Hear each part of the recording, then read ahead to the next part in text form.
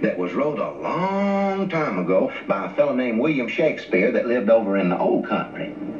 You wouldn't want to hear about that in early this morning, would you? Yeah. You would. Well, now let's see if I can figure how it went. Now let's see. Well, now it's about it's about this boy and girl named Romeo and Juliet that was in love of one another, just like Josh and Hannah. Only their daddies didn't get along either.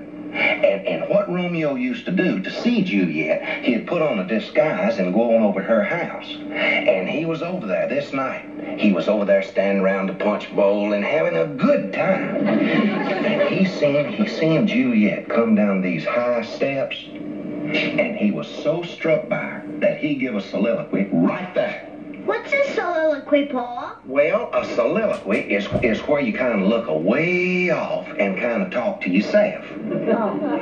They used to do that a whole lot back then. You do it today and somebody will take you away. But that's what he was doing. And this fella Tybalt, a cousin of Juliet's, come upon him with his sword drawn, ready to pick a fight with him right there. But Juliet's daddy, he didn't want no bloodshed right there in his living room.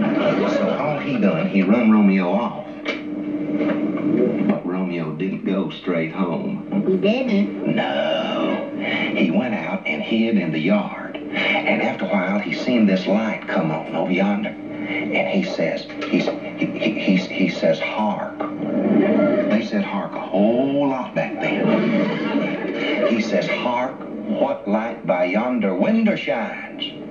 Well, Juliet, she stepped out onto this stoop right then. And she give a soliloquy. And somewhere in it, somewhere in it, she says, she says, Romeo, Romeo.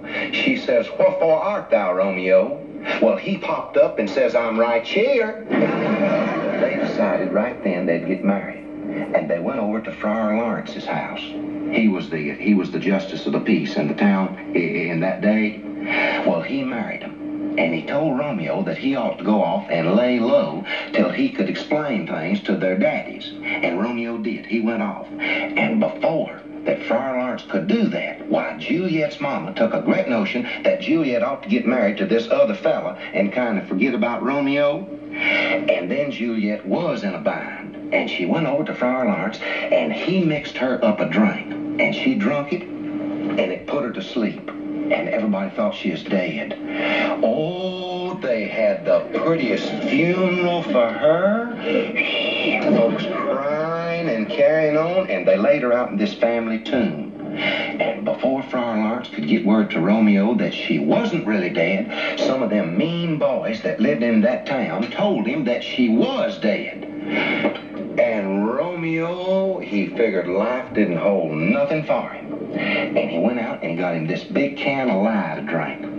And he went over there to where, where Juliet was laid out, and he kissed her. Let me tell you, that boy kissed her flat on the mouth. And he says, with this kiss, I die. And he drunk the lye, and he fell out across to there. And uh, he was a he was a big boy for his age. And the impact of him falling on And she woke up and seen Romeo a laying dead there. And she took his pocket knife and run it into herself. And she expired. And you see, their daddies could have saved themselves the expense of a double funeral if they would have just let them had a cheap wedding. You see, they didn't know that till it was too late. And so before I marry these two young'uns, I want to be sure that everything's all right with everybody all the way around.